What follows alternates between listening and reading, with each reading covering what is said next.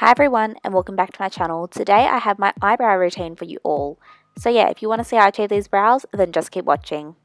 Naturally, I have really, really sparse eyebrows as you can see here, but thankfully, using my brow routine, I'm able to mimic fuller looking brows.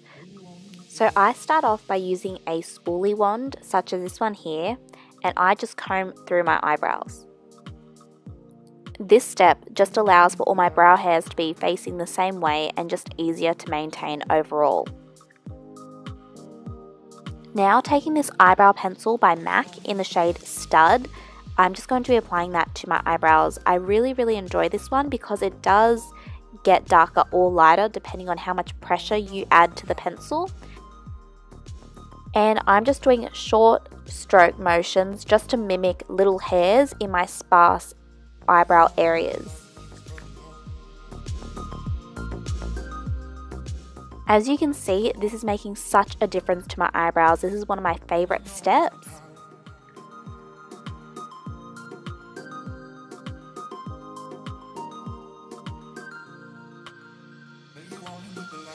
And of course I'm going to be doing the same to the other eyebrow.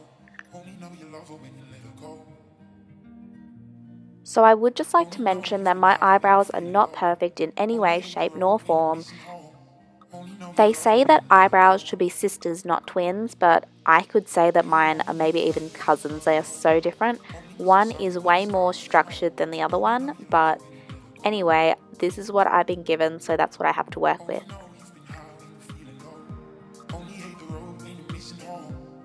You can see that that pencil has made the biggest difference in my eyebrows. Now for my holy grail eyebrow products. These are the Illamasqua brow cakes, the grey one being Motto and the more brown tone being Thunder and I'm just taking that on an Illamasqua eyeliner brush.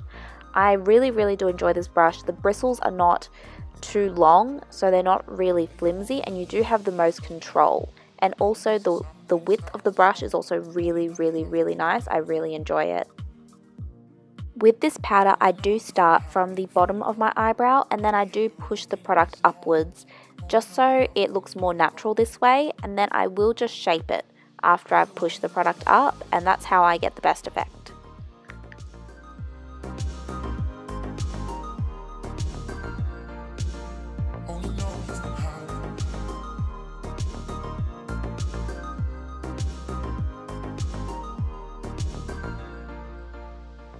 So again, I'm just starting from the bottom and I'm just tracing out that bottom outline just to give the brow a bit more structure.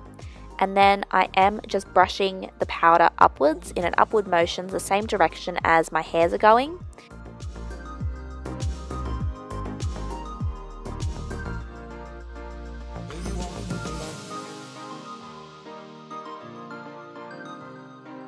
And no matter how hard I try, I always end up having one eyebrow looking really, really good and one eyebrow just looking really, really funny looking.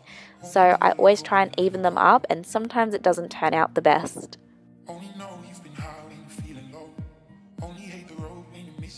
For those days when I do go overboard with my eyebrows, I do just go back in with that spoolie that I used initially and I just comb out the product just a little bit just to make it a little bit more even and a bit more natural.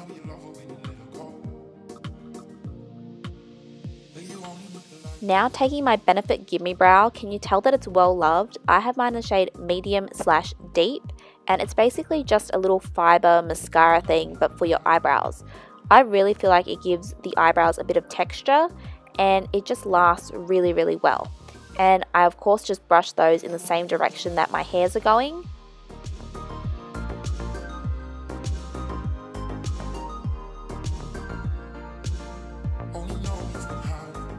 This step I don't do all the time, but I am just taking a highlight shade and putting that underneath my brow bone. I don't really see this doing much of a difference, but I thought that I would include it because I do do it sometimes. This step I also don't do all the time, but if I'm going clubbing or I need my eyebrows to stay in place all day long, I will take my MAC Brow Finisher in the shade Clear. It's basically like a stick of wax and I just apply that to the tail of my eyebrow. That's where my eyebrow hairs are most likely to go all funny and stray away and then I will just lightly brush a little bit through the start of my eyebrow as well. I, of course, don't do this every day just because I don't really see it doing much of a difference, but when I do put it on, it does make my eyebrows stay in place a little bit longer.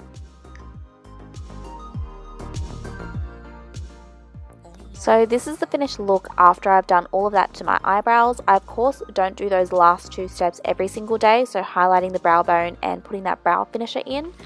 But all the other steps I do do on a daily basis for the days I do wear makeup and I'm really really happy with how it turned out. So yeah, if you recreate it then definitely tag me on Instagram or wherever. And yeah, I will see you next time. Bye.